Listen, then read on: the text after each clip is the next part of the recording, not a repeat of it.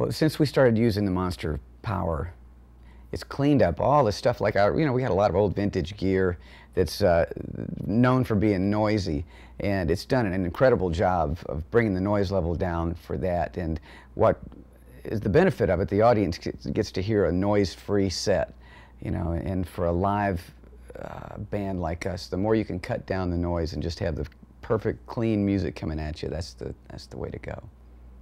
I have a feeling that a lot of people who are watching this right now don't like playing music on their home entertainment system because it's sound, it's geared for movies and television and that sort of thing. And you don't have to do that anymore because you guys, Monster, are making such great power investments for for audio. You know, so you can watch your television, but you can also listen to the music that we spend a lot of time trying to get it to sound right. Uh, you can have that in your home entertainment system now with the Monster Power.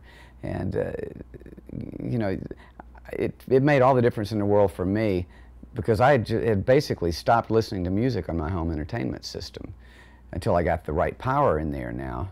And I've, it's all, it's all, now I go back in there, it's not just I'm watching TV. Now I'll go in there and I'll take people and I'll play mixes and things like that because now you can hear what it sounds like.